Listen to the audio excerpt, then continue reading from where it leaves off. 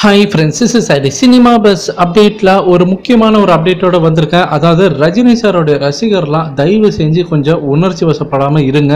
கொஞ்சம் பொறுமை காத்துருங்க தான் நான் சொல்லணும். ஏன்னா சில பேர்லாம் பார்த்தீங்கன்னா அவங்களோட ட்விட்டர்லாம் பார்க்கும்போது நமக்கே வந்து கொஞ்சம் ரொம்ப கஷ்டமாக இருக்குது அதே சமயம் கொஞ்சம் பதட்டமாக இருக்குது சில பேர் வந்து தேவையில்லாமல் சில விஷயங்கள் தேவையில்லாத சில முடிவுகள்லாம் நீங்கள் எடுக்கிறீங்க. உணர்ச்சி வசப்பட்டு சில முடிவுகள்லாம் எடுக்கிறேன்னு சொல்கிறீங்க ஸோ இது ரொம்பவே தவறான ஒரு விஷயம் தான் நான் சொல்லுவேன்.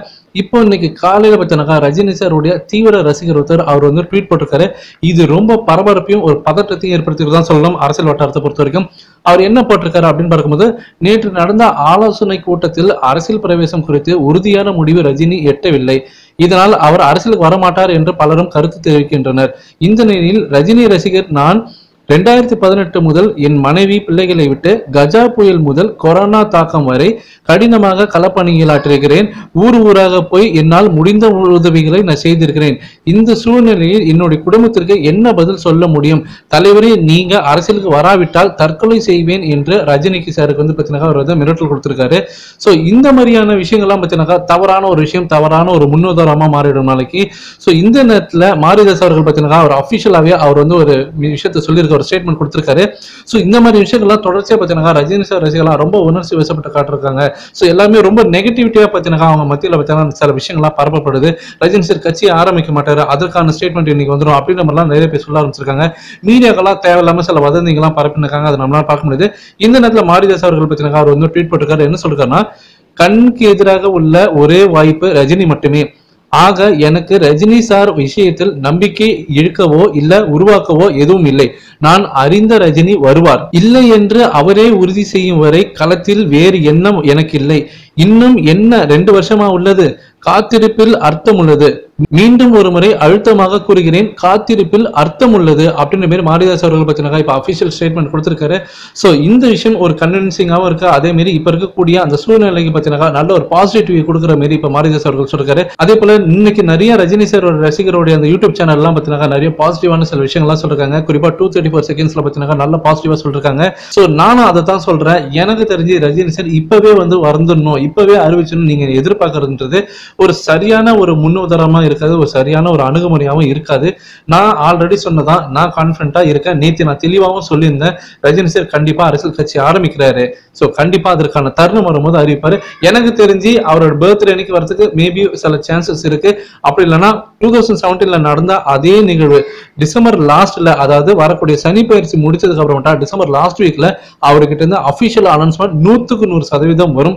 அதை தாண்டி போறதுக்கு வாய்ப்புகள் இல்லை. ஸோ அதை தாண்டி போனால் அது கண்டிப்பாக அவர் வரமாட்டேன்னு தான் சொல்லுவார். ஆனால் எனக்கு தெரிஞ்சு டிசம்பர் லாஸ்ட் வீக்கில் அவர் வருவன்றதை அஃபிஷியலாக அனௌன்ஸ்மெண்ட் பண்ணுவார்.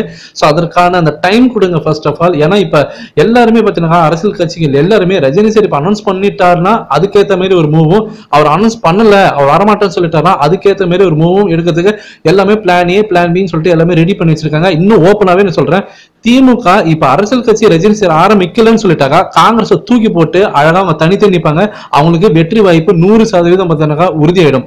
இதுவே ரஜினி சார் வரேன்னு சொல்லிட்டாருனாக்கா இருக்கிற எல்லா கூட்டணியும் பார்த்தீங்கன்னா அவங்க தக்க வச்சுப்பாங்க. அவங்களுக்கு எவ்வளவு சீட்டு கொடுத்து அவங்க வாயை அடைச்சு அவங்களோட கூட்டணியை பார்த்தீங்கன்னா பலப்படுத்த முடியுமோ அது எல்லாமே பண்ணிடுவாங்க. இப்ப ரஜினி சார் வரேன்னு சொல்ல போறாரா இல்லைன்னு சொல்ல போறாரா தெரியாம அவங்க குழுமையினர் இருக்கக்கூடிய இந்த நிலையில அவங்களால கூட்டணி கட்சியை பார்த்தீங்கன்னா அவங்களால பார்த்தீங்கன்னா உறுதி செய்ய முடியல. அவங்க போட்டியிடக்கூடிய அந்த தொகுதியை பார்த்தீங்கன்னா அவங்களால கன்ஃபார்ம் பண்ணல அந்த அளவுக்கு தான் அவங்களுடைய அந்த குழப்ப நிலை இருக்கு. இதுதான் ரஜினி சாருக்கு வேணும்.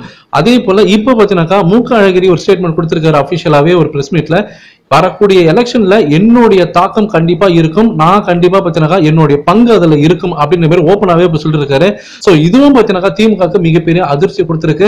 இந்த பயம் தான் நமக்கு வேணும். எதிரில் இருக்கிறவங்களுக்கு நம்ம என்ன செய்ய போறோம்னு தெரியாம இருக்கணும். லாஸ்ட் மினிட் வந்து அடிக்கணும். நேத்திக்கு ரவீந்திரன் துரைசாமி அவர்கள் பார்த்தீங்கன்னா அவருடைய அந்த ஒரு முக்கியமான இன்டர்வியூல அதே தான் சொல்லியிருந்தாரு. நான் இப்பவும் நம்புறேன். ரஜினி சார் ஜனவரி மாசம் லாஸ்ட்ல கட்சி ஆரம்பிச்சு பிப்ரவரி மாசத்துல இருந்து அவருடைய கலப்பணி ஆற்றினாலே போதும். கண்டிப்பா அவருக்கு தான் வெற்றி உறுதி அப்படின்னு சொல்லிருக்காங்க. சோ தேர்தல் ஆணையம் பார்த்தீங்கன்னா இப்போ மே மாசத்துல எலெக்ஷன் நடத்துறது எடுத்துட்டு இப்போ ஏப்ரல் மாசத்துல எலெக்ஷன் நடத்திடலாமா? ஏன்னா அந்த டைம்ல சம்மர் டைம்ல பார்த்தீங்கன்னா வெயில் தாக்கம் ரொம்ப கம்மியா இருக்கும். அந்த டைம்ல நம்ம பண்ணிடலாம்.